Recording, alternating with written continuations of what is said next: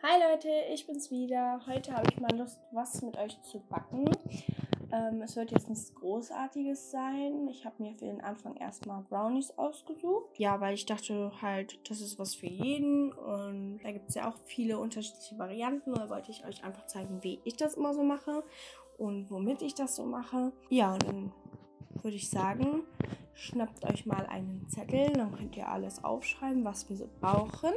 Und zwar braucht ihr für ca. 6 bis 8 Stück, je nachdem wie groß ihr die halt schneidet. Die Backform, die ich jetzt verwendet habe, ist so 30 x 30 cm. Für diese Größe braucht ihr 150 Gramm zimmerwarme Butter, 200 Gramm Zucker, 50 Gramm Zartbitterschokolade, dann gehackte Nüsse, da könnt ihr die Anzahl selber entscheiden, 75 Gramm Backkakao, alternativ könntet ihr da auch normalen Kakaopulver nehmen, weil ja, das macht jetzt nicht so einen großen Unterschied. Einen Teelöffel Vanillezucker, zwei Eier in der Größe M, falls ihr jetzt irgendwie L da habt, nehmt ihr vielleicht nur eins oder so, ist aber an sich auch nicht schlimm, wenn das ein bisschen mehr oder weniger ist. Äh, dann braucht ihr noch 60 Gramm Mehl und einen Teelöffel Backpulver.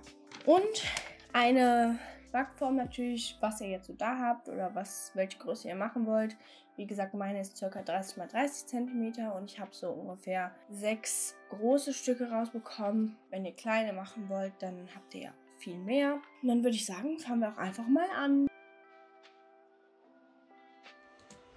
Als allererstes gebt ihr die 150 Gramm Butter in den Behälter oder die Schüssel, was ihr gerade verwendet. Danach kommen die 200 Gramm Zucker auch hinein. Als nächstes dann die 75 Gramm Backkakao.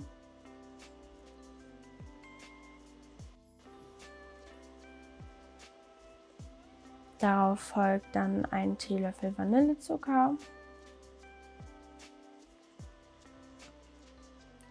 Danach die 50 Gramm Zartbitterschokolade. Ich habe sie jetzt vorher in der Mikrowelle schon einmal schmelzen lassen, damit sie besser da reinpasst.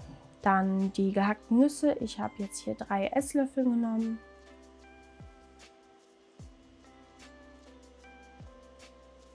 Als nächstes wird das Ganze erst einmal gut durchgerührt. Ich mache das hier jetzt mit der Küchenmaschine. Das könnt ihr natürlich auch mit einem ganz normalen Mixer machen oder mit der Hand.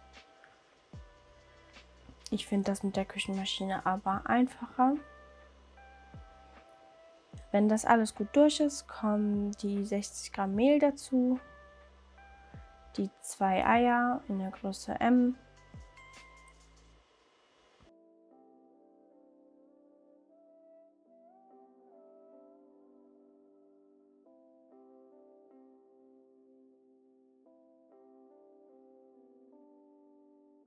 und ganz zum Schluss dann noch ein Teelöffel Backpulver.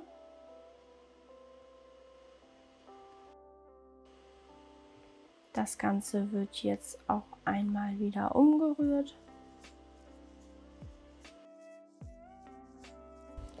Sobald ihr das schön cremig gerührt habt oder eure Maschine, womit ihr es jetzt macht, gebt ihr das Ganze in die Backform, die ihr dafür verwenden möchtet. Ich habe jetzt vorher noch einmal Backpapier reingelegt, weil es dann einfach viel einfacher rausgeht und man auch nicht so viel zum Saubermachen hat. Das Ganze schiebt ihr dann in den Backofen bei 180 Grad für 20 Minuten und danach sollten sie schon fertig sein.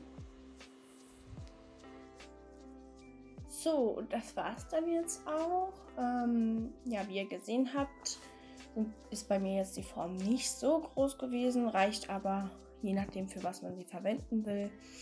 Ähm, ja, ich habe, wie schon gesagt, vorher auch Eis gemacht und habe das dann mit Eis serviert. Das kann man ganz viel mit unterschiedlichen Varianten machen. Ihr könnt verschiedene Nussarten wählen. Wir haben hier jetzt Haselnüsse genommen. Ihr könnt aber ja, wie gesagt, auch Mandeln nehmen oder Walnüsse. Keine Ahnung, was ihr so wollt.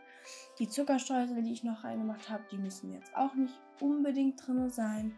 Oder könnte man auch noch was anderes nehmen. Manche machen es auch ähm, nur mit Schokoladenstückchen oder es gibt zum Beispiel auch Brownies mit Karamellstückchen und das könnt ihr alles ja selber variieren. Aber grundsätzlich der Teig ist ja immer derselbe. Was man dann noch dazu macht, das ist ja jedem selbst überlassen. Und das war es dann eigentlich für heute schon. Ich hoffe, dass euch das gefallen hat. Wenn ja, könnt ihr mir einen Daumen nach oben geben und nicht vergessen zu abonnieren. Und ich hoffe, ich kann noch viele weitere Videos mit euch teilen, die euch auch gefallen.